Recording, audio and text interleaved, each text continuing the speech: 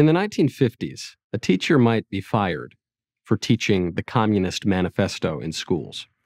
Today, a teacher might get fired for teaching the Bible in schools.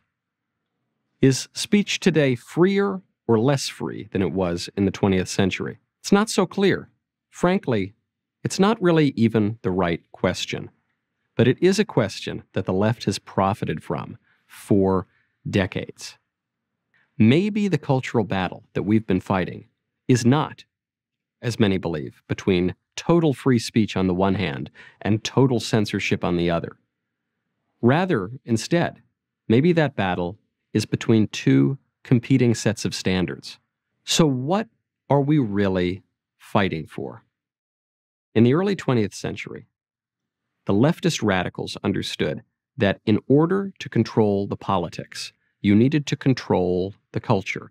And in order to control the culture, you had to control the mind, the way that we think about things. And in order to control the mind, you need to control the language.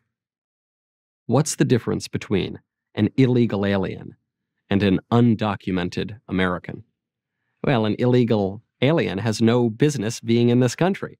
They're illegal and they're foreigners. An undocumented American, well, it sounds like someone who just forgot some papers. Go get him his papers. He's an American after all, and that's just fine. What's the difference between a criminal and a justice involved person?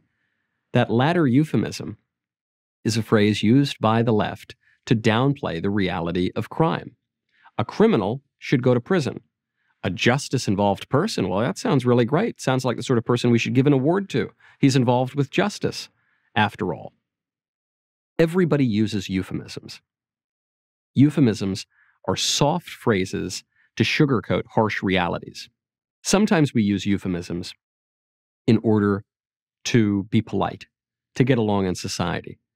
We refer to a woman of a certain age instead of an old hag. We do that to be nice, but we're not covering up reality. We're not contradicting reality. The left uses euphemisms in a completely different way. When the left uses a phrase such as social justice, they are using it to mean not justice, the opposite of justice. Justice means giving to people what they deserve without favor.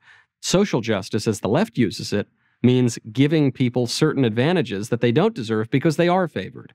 There is a sometime conservative writer who infamously described Drag Queen Story Hour a group of sexually depraved people reading and in some cases dancing around for kids in sexualized clothing.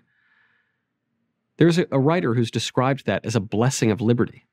You can almost hear James Madison rolling over in his grave. People who defend things like Drag Queen Story Hour in the public square, they say, well, if we get rid of Drag Queen Story Hour, by golly, the left might tell us we can't go to church on Sunday. We have to remain totally neutral.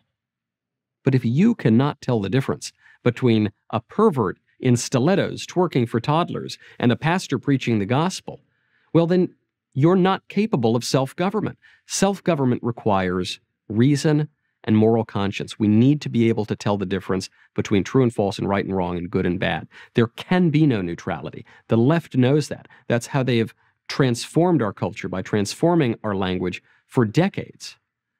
Conservatives once understood it. We must understand it again. Free speech in the abstract is a wonderful thing. But free speech in the abstract means absolutely nothing to people who have nothing to say.